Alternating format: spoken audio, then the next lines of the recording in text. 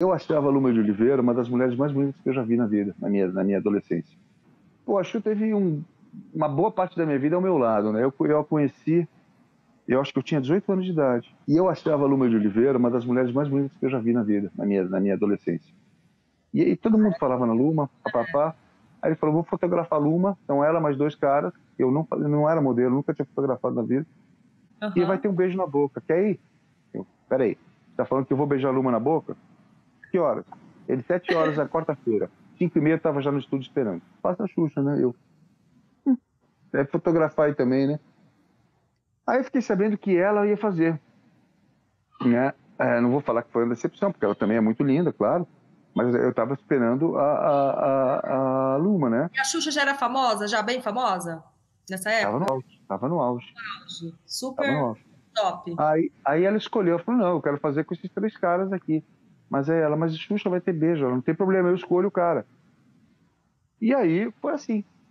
A gente, a Beijou, gente fez a você, foto. você beijou a Luma de Oliveira e a Xuxa? Não, não. Ela substituiu a Luma, eu não fiz nada com a Luma, nem conhecia a Luma. A Xuxa já furou o olho da Luma de Oliveira, então? Sim. sim. Aí, aí, aí ela escolheu, fui eu, né? Assim, muito especiais que amam você, fizeram questão de mandar algumas mensagens aqui. Vamos ver. Opa, que delícia, obrigado. Luto aqui na Fazenda Dendê no Motim. E estou muito contente que estiver no programa da Dani, que eu adoro. Beijos, Dani. Para te dar parabéns pela tua trajetória linda de vida, tanto profissional quanto pessoal. Olha, eu estou muito feliz que você está aí e eu quero que você saiba que eu tenho um orgulho imenso de você. Oi, meu amor. Oi, pai. Eu sei que nem precisava dizer, mas a gente te É ama. verdade. Tá aqui a sua família É. pra dizer que a gente te ama. Né, Miquinha, né, Davi? Você é o melhor pai do mundo. Você é. Um beijo, meu amor. Obrigada por essa família linda que você me É. deu. Beijo. Te amo. Beijo. Aí você me pegou, né, cara? Ai, que demais, não é? Aí você me pegou, né? Ah.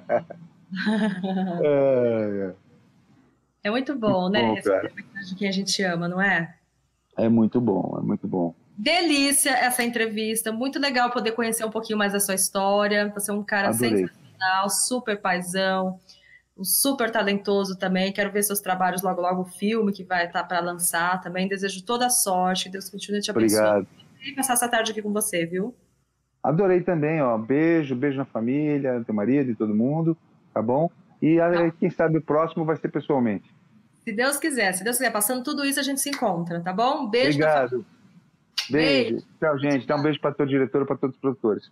Valeu. Luciano da Filha aqui no Sensacional, gente, bom demais, não é?